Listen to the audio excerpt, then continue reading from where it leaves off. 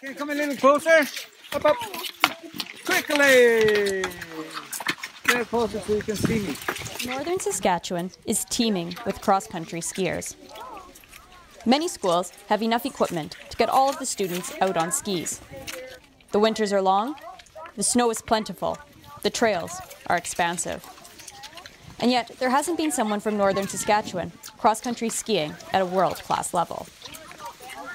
This spring, four time cross country skiing Olympian Sharon Firth and her coach, Anders Lennes, traveled to northern Saskatchewan to talk to kids about what it takes to compete at the highest level.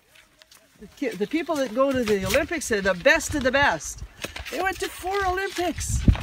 And And our very, very first team was all Indigenous people. are you proud? Firth is an Indigenous woman from the Northwest Territories, and many students were able to relate to her. Who goes to trapline here? Yeah. Okay. Guess what? Dr. Sharon Ann Firth is a trapline kid. She grew up on the trapline.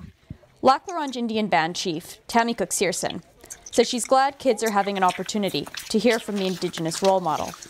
She said she hopes it inspires them to chase their dreams. And um, I think it's important to bring somebody like her. She grew up on the trap line, and there's a lot of people that relate to trap lines and being in the bush. And I think it's important to encourage the youth to be the best that they can and to know that, you know, in order to be in the Olympics or, you know, if you want to be a top level athlete, it takes a lot of work and determination and um, and and lots of hard work. Practice, practice, practice, practice, eh?